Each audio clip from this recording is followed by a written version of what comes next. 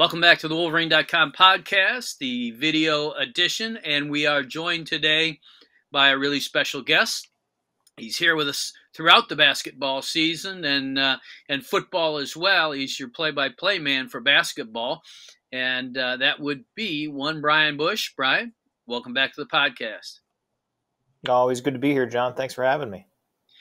Uh, we enjoy getting you on when things are happening with basketball and and or football. There's uh, stuff to talk about on both those fronts, but we want to focus first on basketball today because of the news that Hunter Dickinson is back and he is coming back for his junior year. Talk about what that means for Juwan Howard and this crew.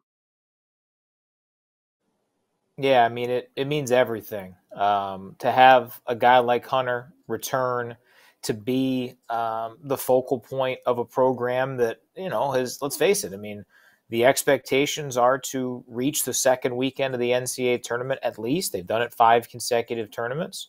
Uh, so, I mean, he. I, I think he goes into next season as the Big Ten Player of the Year in preseason, as the favorite to win that in the postseason. Um, and, and, the fact that you know he he told me uh, on, on our podcast, Defend the Block, that you know I, I didn't want the distraction um, I wanted to lock in on, you know, not going through the process again because I felt he said he, he's like I, would feel like it was just kind of me, you know, I'd be going through the motions. I'd just be doing it just to do it. I, my heart wouldn't be completely in it. So, um, I mean, he we all saw what he meant to the team last year, and that was as you know the on him was increasing. He had to deal with double teams, triple teams. Uh, this wasn't his freshman season where he was uh, able to operate a lot more frequently in one on one situations. Uh, so, listen, there's still plenty of room for him to grow in his game. I still think there is a you know a real path for him to, to in the NBA once he takes that step.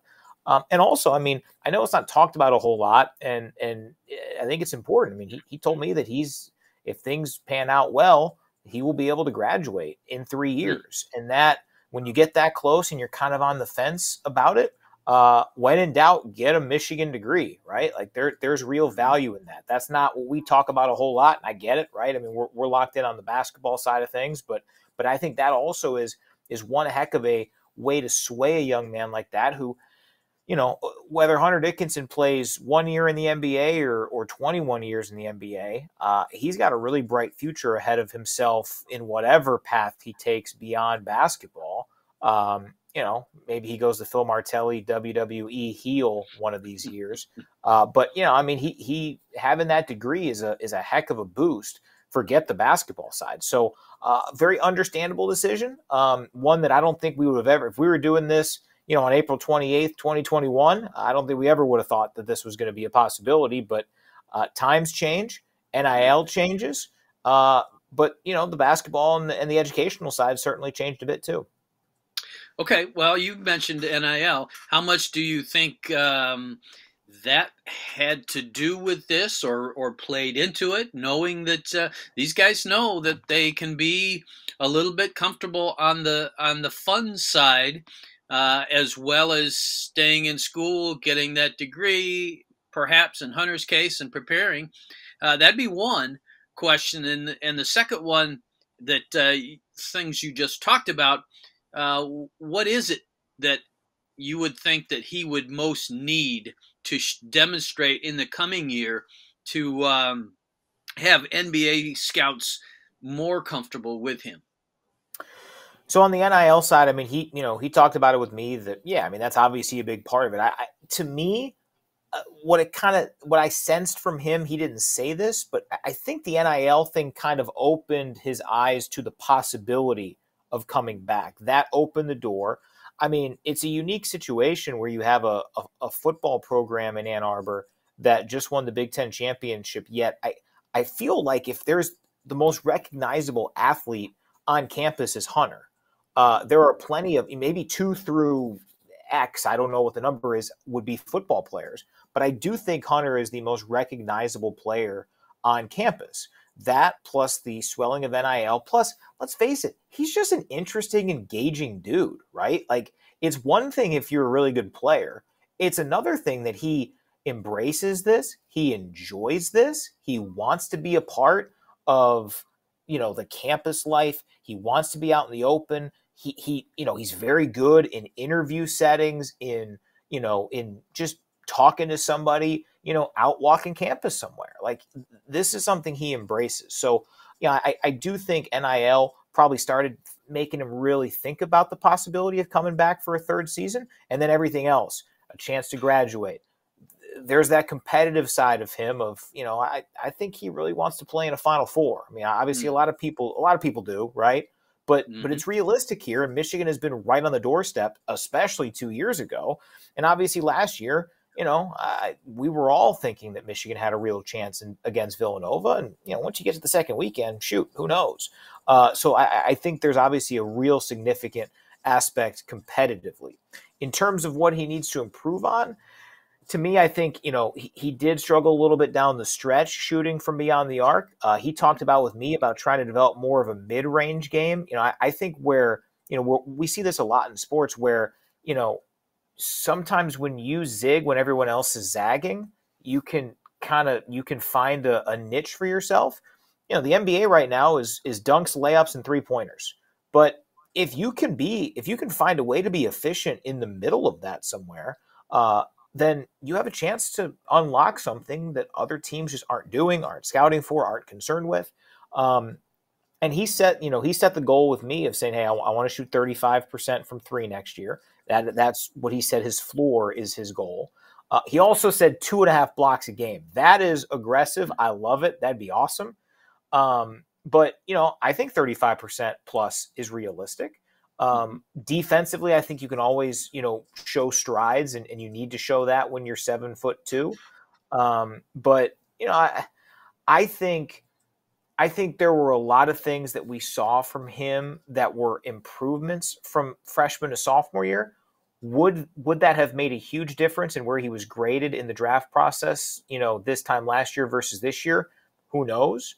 Um, but if he can take that to the next level in some of those categories, uh, then then he's got a real chance. Listen, I, I think a seven foot plus center that plays the game like he does, a lot of times back to the basket, that was that was a money lottery pick 15 years ago. That's probably never going to be the case. But I do think there is a, a role and an opportunity for him at the next level. Uh, I just think he can kind of take it a little bit slower than, than a lot of guys because of his unique status on campus and the fact that I mean, let's face it, I, I don't. What what will one year do for Hunter this year that would you know cause teams to say, oh well, he he went back for another season. I, I don't know. Like I, I don't think there really is a whole lot of that. Now, if he comes back and has a terrible season, sure, like that's one thing. But I don't I don't think any of us expect that. I you know I think it's fair to expect him to be one of the best players in college basketball. So, um, long story short, I think his his draft situation is probably pretty static. Uh, so why not come back for another season? All right. So if he does come back, indeed, as one of the best players in college basketball, we've talked about what that means for him and uh, the uh, import for the future. What does it mean for Michigan? Does this make Michigan an instant contender for the Big Ten title, uh, a serious contender for that uh, sixth straight uh, Sweet 16 and beyond? Oh, I definitely think so. I mean, the reality is, you know, you, you still got what uh, quadruple digits in the portal. Um, who knows how that's all going to shake out? Uh, obviously, there's still plenty of NBA draft decisions that have to be made uh, throughout college hoops, and, and, obviously in the Big Ten. Um, but you know, when you look at the guys who you are fairly confident in being on this roster next year, plus the recruiting class that comes in, uh, you know, to me, I think you know, it'd be hard pressed to find a roster you feel better about than Michigan's at this stage, right? And that's even if, you know, with, with Moussa and Caleb uh, testing the waters, you know, let's split the difference, right? Say one of the two comes back, one of the two goes to the NBA. Who knows? Um, I mean, that's it's a pretty formidable roster, right? I mean, there's there's some real talent there, and, and I do think that getting Hunter back adds that leadership, that experience that, that Michigan will be lacking without an Eli Brooks coming back. Um, but you know, there, there's a lot of potential to fulfill that from within, um, and also from a from a production standpoint. To you know, potentially, you know, obviously Michigan's always going to be active on the portal. Uh, they're always going to be a really intriguing fit for various players. Um, but yeah, I mean, I I don't know of a team that I would definitely say, oh yeah, like that. You know that team is is definitely got a better roster right now than Michigan. Even if you even if you're uh, you know you're optimistic about what you think they get back. Um, now we said that last year. You know, Michigan was preseason top ten, so stuff can change. But mm-hmm. um, you know, I, when you've got a, a player as good as that and as important to the program as he is coming back, plus some some other real players who I think can take that next step. A Frankie Collins, a Terrance Williams, the second. Again, say one of the two, you know, potential sophomores in Houston or Diabate come back. I, I mean, it's the puzzle fits pretty well together, if you ask me. You anticipated my next question in terms of uh, Diabate and Houston. Do you have any sort of a gut feel? We know they haven't been showing up on NBA draft boards, but they want to go through the process, and that's fine. That's probably uh, a smart move on their part at this point. Do, do, you have a gut feel at all as to whether or not uh, one or both will be back? Well, I'll say this: uh, I, my gut told me all last spring and early summer that Hunter was going to come back and it was going to be a pretty easy thing. And then, you know, he was point blank being like, yeah, I almost left. So mm. it's tough for me to gauge. I will say because Hunter Dickinson is back, you wonder if that might incur, and this is total speculation on my end, but, you know, does that maybe entice Moussa a little bit more, you know, to be a little bit more interested in going? Uh, to me, I think based on the complexion of the roster that we see right now, um, I think Caleb Houston probably has more to gain by returning in terms of draft stock. Mm-hmm. Whereas I think Moussa Diabate, you know, I mean, he, we all know the potential. We all know the big time plays he can make, what he did in, in some games like the, the road win at Iowa, stuff like that. But, you know, I, I'd be surprised if in 12 months he would go from kind of a toolsy, you know, up and down player to this really refined, like you totally understand what you're getting.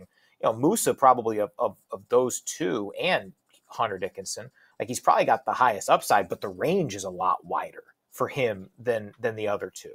Uh, so to me, I think Caleb probably has more to gain in draft stock, whereas Moussa, based on the fact Hunter's coming back, um, I, I, think there might not be as much room for him to grow, and, and maybe he just says, "Hey, you know, I want to, I want to get in there now, and yeah, I'll probably have to play some in the G League, and, and it's going to take a little bit of time, but you know, I can absolutely see a team falling in love with the, you know, with the makeup, with the skill set, with the the body frame, and with the potential. I mean, you know, when that dude's at, when that dude's at the peak of his powers, um, you know, physically, he's probably going to be 50 plus pounds heavier than he was last season. So there's there's a ways to go for him in that regard. But yeah, that that's all just kind of me gauging it and seeing what, you know, what's out there. I mean, if Houston comes back, I think he's preseason all Big 10 type of a guy.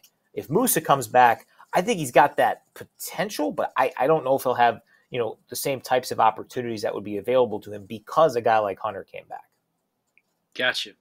So those two automatically uh, factor in as X factors for this team, whether they're here, whether they're not. The biggest X factor to me that I know is returning is one Frankie Collins because you saw flashes of. I, I mean, I, I, I say uh, to people Ricky Green from back in the mid 70s as as one of the quickest, fastest guards that uh, Michigan has ever put on the floor. But uh, he came in as a as a transfer, as a junior, and uh, Frankie Collins entering uh, this next season has some things to work on. There's no question about that. Uh, your estimation on how much better and how much different you think we will see uh, Frankie Collins be in this coming year? If we could copy paste some of the stretches he had in the NCAA tournament, I'm good, right? Like I'm good. Yeah. Uh, I I knew that that was where Frankie could get, but the way he played for the vast majority of, of his opportunities in the NCAA tournament, I didn't expect it for him this past season. Um, what he showed was that he could blend that incredible speed athleticism that you're talking about with fluidity, basketball IQ, understanding when to really turn on the jets and when to lay back. Um, and you consider the fact that, you know, Hunter's going to be there and he is a stabilizing force and he's kind of a natural type of a player because you have to feed it into him. Um, yeah, I mean, he. I always knew that the ceiling was pretty high for him, but boy, the floor that he showed by what he did late last season gives me a lot of hope that he can take that that point guard spot and that starting point guard spot and run with it. Now, you know, it's it's still a small sample size. He still has to improve as a shooter. The free throw um, line has to be better. Um, but you know, we saw him gain some confidence, gain some pro- productivity uh, as a as a jump shooter, as a scorer. Um, you know, and I, I, think he probably tried to do a little bit too much at times when he had those, you know, what six to ten minute stretches in games. When when you give him the vast majority of the minutes, I think he kind of lets the game come to him. So. 100% totally with you. I think what he has the potential to do is really exciting, but I think you know the the median Frankie Collins game that would have probably worried me a little bit had the season ended, you know, after the Ohio State road win. But mm. because of what we saw after that, um, I feel like the median of what the just the common expectation of hey Frankie played well, he played fine. Uh, to me, that was enhanced so much by what we saw down the stretch. Gotcha. And one well, one caution to all of you more mature uh, Michigan fans who may be tapping out your emails right now. Uh, I did not say that uh, Frankie Collins is going to be the next Ricky Green.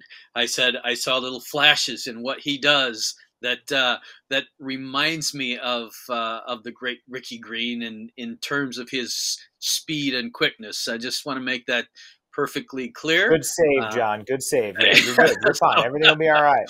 All right, Who, who's, good. Who's, well, the ne- who, who's the next Glen Rice? Who is the next Glen? no, not touching that one. The yeah, the next guy that uh, outscores him in a six-game stretch in the NCAA tournament. Still waiting. Yep. Yeah. Uh, so I want to before I let you go, a quick hard shift here because uh, football now is done, spring practice is done, and uh, this is a team that uh, has all sorts of excitement on the offensive side of the football. Uh, just most people look at it and say that they are absolutely going to be loaded. Defensively, you've got some uh, definitely some growing up to do, some replacing of uh, key personnel, all of that, but you've got a schedule also that is pretty manageable at the start and allows for some growth. You tell me, as uh, you've talked to people and as, as you've um, watched this program coming out of spring and into the summer period, where do you think Michigan football is at in terms of how good it has a chance to be and whether it has a chance to uh, uh, be a back-to-back Big Ten champion kind of team? Yeah, I think you know obviously defensively is where there's there's probably the widest range of potential outcomes, and you know it, it's interesting because you think back to to how we were looking at this team going into last season, it, it always felt like this team was going to go based on their stars defensively, and at the time, I think the only two players that we we felt confident in in knowing were stars were Aidan Hutchinson and Dax Hill now, obviously, plenty of others emerge throughout the course of the season. I think I think there's probably more um, there's more understanding and confidence in like players three through eleven on the Michigan defense, but uh, who I don't think there are two guys who you go into this season defensively and say, "Oh yeah, you know, if they if they have their typical seasons, their first round selections in next year's draft." I mean, Hutchinson and Dax Hill were were toward the back end of the first round around this time. We knew we know when those crazy people are throwing out mock drafts one year in advance. It's kind of where those guys were. Uh, so for me, who can develop into being a real star um, can develop into that. I, I think the depth, I feel a little bit better about the depth at this point than I did in April of 2021, you know, defender 3 through 11 in that starting group. Uh, offensively, totally agree. I, I, I mean, I think what's cool is if you just talk about the players who played from week two on for Michigan's offense, it's a really good group. But you have Ronnie Bell coming back. I think that's that's a luxury and that is a reality that I don't think people are truly going to be able to understand and and measure until we see him back out on the field. Uh, so to me, that's such a that's such a benefit to this team. But you know, the speed, the skill. I I think two things can be true at the same time. I'm going to miss Hassan Haskins like crazy, and man, I'm super excited about what Michigan has as, as a running back group. I mean, the Corum Edwards duo, Tavi Dunlap can can. I mean, if he's your three, you feel really good. Uh, there's some there, you know, there's some young guys even behind them that you know that have a chance to do some things. Uh, you know, I, I and hey, Sherrone Moore, offensive line, yeah, you gotta you gotta replace a little bit. I mean, I got full confidence. You saw last year when Michigan had to battle some injuries and shuffled in like four guards at once. Uh, what was that, the Nebraska game or whatever? I mean, it, you know, it's that Michigan might have to, you know, get into some uh, an extra shootout here or there compared to last season. But yeah, I mean, this this is a top, this is a preseason top ten team.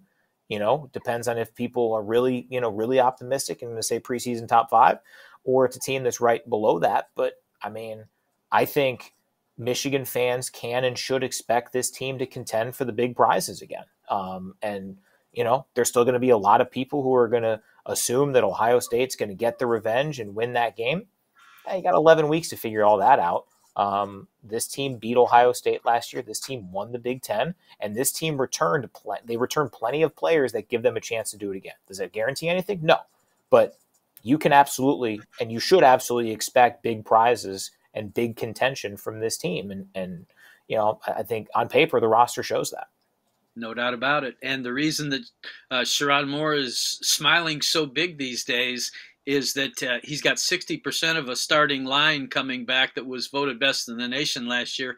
And he has the luxury of plugging in a Remington Award finalist uh, at center. So, um, yeah, you that's a quick fix in in my mind. So, uh, Brian Boesch, always great. You you show your versatility today, switching from the the court to the field with uh, great aplomb. We appreciate you, and uh, we will do this again soon, my friend. Aplomb, what a great word! Thanks, John.